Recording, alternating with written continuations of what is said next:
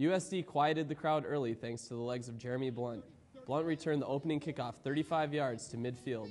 The Coyotes capitalized on the good field position and put up the first score of the game when quarterback Dante Warren ran it in from six yards out for the TD. Warren finished with more than 150 yards passing and added 80 yards on the ground.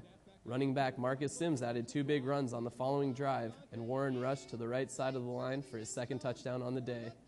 The score gave the Coyotes a six point lead at halftime. South Dakota carried the momentum into the second half as Bison quarterback Brock Jensen fumbled on the opening drive. Defensive lineman Jordan Eaton recovered the fumble near midfield, but South Dakota was unable to capitalize. USD added a field goal late in the game, but it wasn't enough. NDSU snatched the momentum uh, back, scoring three touchdowns in four minutes to win 38 to 16. The Coyotes return home to battle North Dakota on Saturday at 2 p.m. for D-Days.